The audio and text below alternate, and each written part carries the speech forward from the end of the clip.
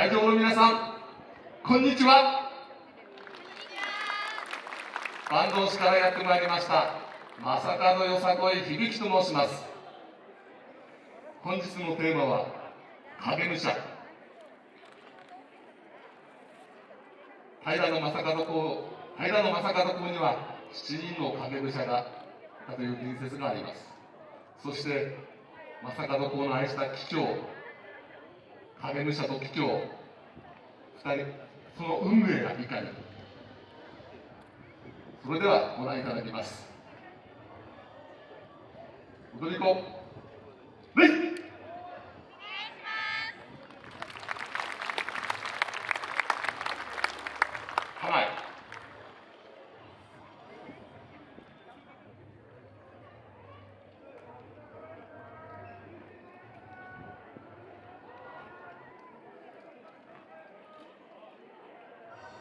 正門よさこい響き。影武者